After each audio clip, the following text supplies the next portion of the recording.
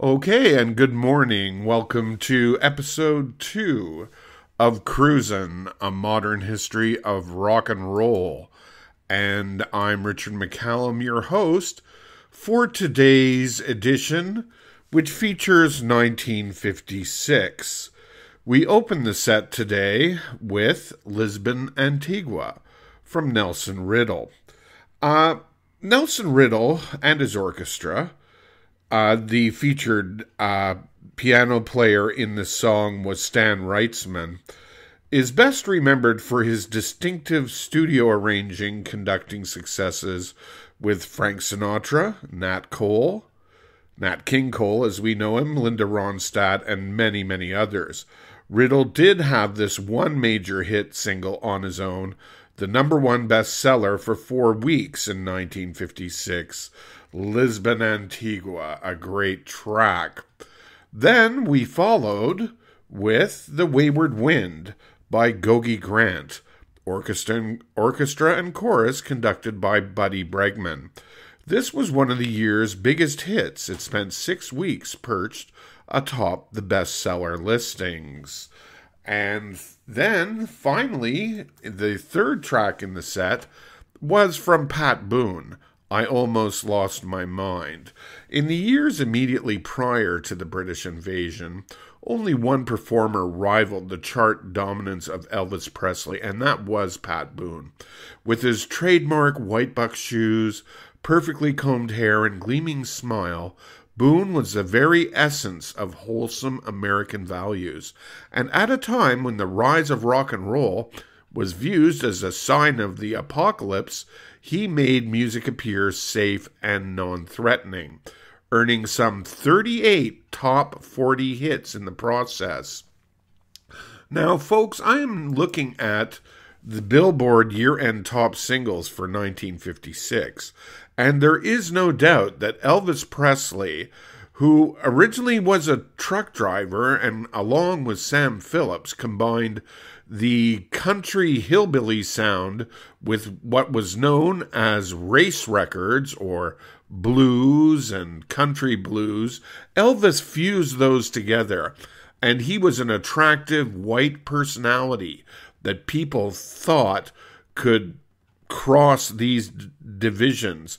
And in the top 50, I see one, two, three, four, uh, four hits by Elvis, Carl Perkins, uh, Tennessee Ernie Ford.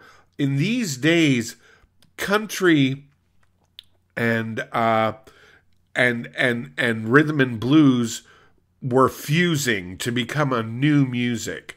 And let's not forget, folks, that what we call rhythm and blues records today were really considered race records uh, records that were created with uh, black people in mind and black sensibilities in mind.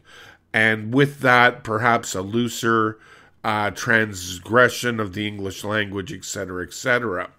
Now, this is leading us to today's featured program, which is Cruisin' the 50s and 60s, 1956 edition. Now, as you know, uh, the word cruising doesn't appear in the dictionary, but it's a familiar word to millions of people who did it. A cruising the 50s and 60s is a year by year recreation of pop music radio during the years 1955 through 1970. Each release was not just a collection of the top pop music of that particular year, but a total recreation by a top disc jockey of that year doing his original program over a major market pop music station.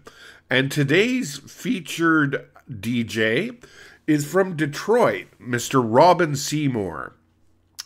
And Robin Seymour was a very interesting per- personality in 1956. Uh, he was uh, born in Detroit, Michigan, and the station we're uh, featuring, CKLW, was a Detroit station. He was a radio personality and a television music show host of Teen Town, the TV music series, and Swingin' Time in Detroit. He started his career in radio as a child actor on The Lone Ranger Show, and later became one of the country's top 10 disc jockeys for a number of years. Let's remember, folks, that in those first years, every major city had a teen afternoon uh, American bandstand type of show. And Robin Seymour was that personality for Detroit, and he was also at ground zero for the creation and the beginning of the Motown radio, the Motown sound. And Robin Seymour really was an architect as a, a live music promoter, uh, playing the music on the radio, and exposing that same important music to the teenagers who are now becoming consumers. They had jobs as babysitters, lawnmowers, uh, chores around the house. Almost every teenager had an allowance, which allowed them to go down to the local record store and buy a record, a single, for as little as 25 or 50 cents. So if you made $5 a week, you could buy some sugar babies, some Humpty Dumpty barbecue chips in America, the best barbecue chips ever in America. Humpty Dumpty barbecue, available at your local drive in. And you could also buy a couple of singles and a couple of comic books. As a teenager, your life was complete. So now we are proud to present exclusively on RadioWebFreight.com Cruisin' featuring DJ Robin Seymour. Enjoy.